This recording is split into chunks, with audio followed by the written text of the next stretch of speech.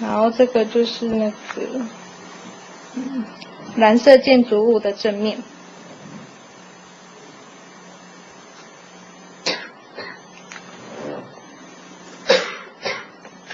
正当蒙德里安步入国际画坛之际啊，因为父亲的重病，然后他被迫的返回荷兰，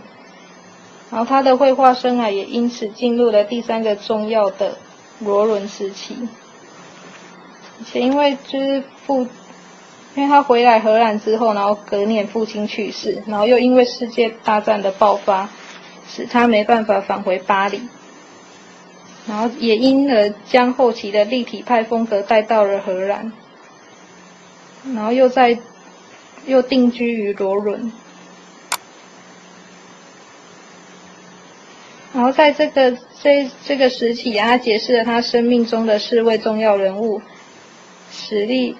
吉普、许恩、马克思跟列克和都斯伯格，然后列克为罗伦的当地画家，与蒙德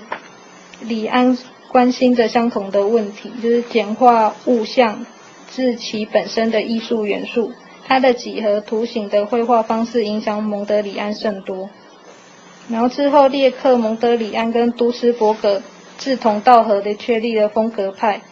的原则。在荷兰引领新的艺术运动。一九一七年十月，风格派正式成立，由四位成员蒙德里安、跟都斯伯格、列克及胡扎合力创办《风格》杂志。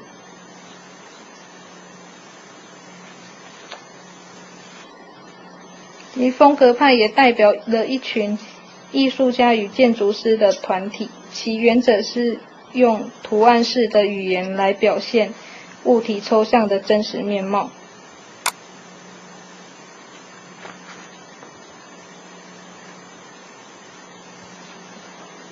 然后，蒙德里安创造了新造型主义的语汇，这是他在《风格》杂志里阐述的审美基础。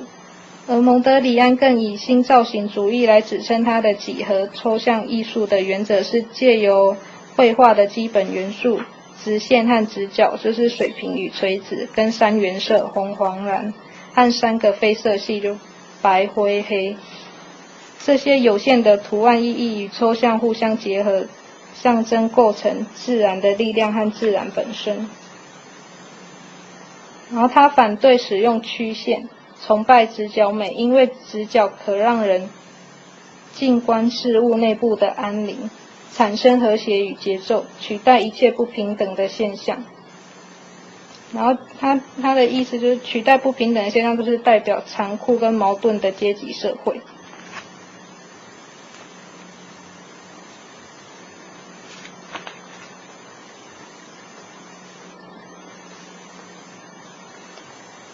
而新造型主义不仅是荷兰新艺术的先驱，也是人类新生活方式的预知。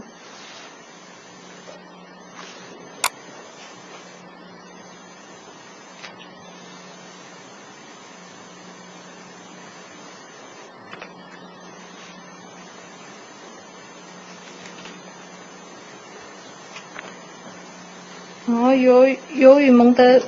荷兰，由于在荷兰蒙德里安始终没有归属感，然后在大战平息后，就是一九一九年时，他结束了罗伦的生活，重回巴黎，开始了他的新造型主义的另一个阶段。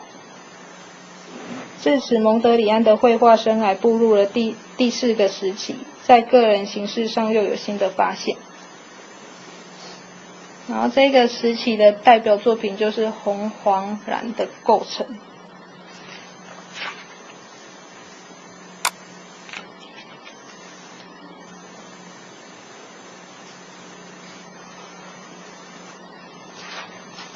然后这幅画有几个重要的特点：颜色与节奏感以凌驾几何结构，取得一个平衡与完全的安定；线条结构上已超出了画布的界限。这线条本身也也较以以往为粗，而其颜色也从黑色的线条改为蓝灰色，更凸显于红黄蓝黑的色块。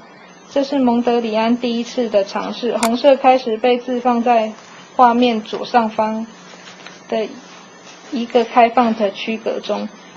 用以主导整体，而红色所处的区隔左边没有界限，这在视觉上有向外延伸的效果，以此显示整个和谐系列的作画导源于另一个存在的棋盘。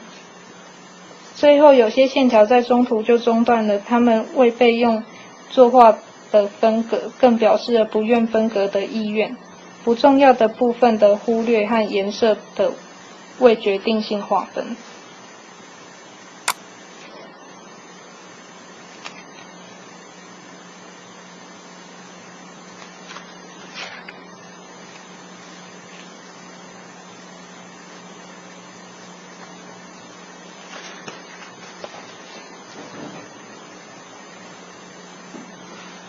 然后，在一九四零年四月、九月，蒙德里安因第二次世界大战而来到了纽约，然后受到许多仰慕者的欢迎。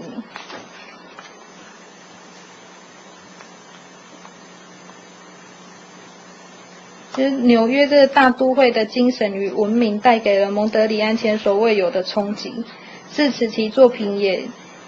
前所未有的明亮和高度的创造性。此时期的作品中，作为界分的黑色线条被彩色线条和断续的彩色色块所取代，使得巴黎时期沉稳而富有节奏的画风转变为明快和戏剧性的律动。蒙德里安鲜活的创造力被纽约的活力生气激发到最高点，然后在这时候，他的。在纽约的这个时候，他作品就有百老百老汇爵士乐和胜利爵士乐这两幅为代表。然后这一幅就是百老汇爵士乐，这是蒙德里安一生中最后一件完成的作品。然后画面的节奏取自于长长短不同的矩形方块所代表的音乐频率的跳动，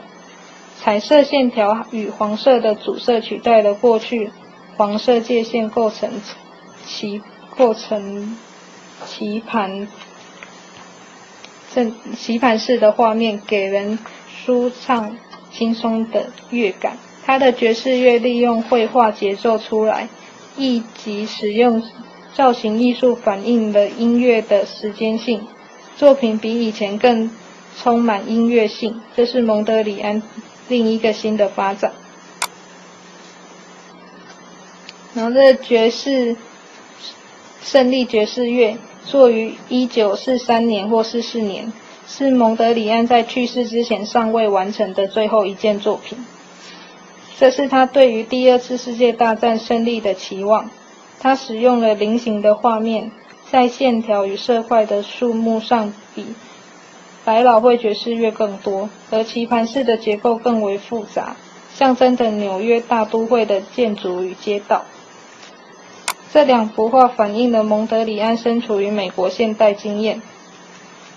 和使他无法平息的熙来攘往的大都会生活。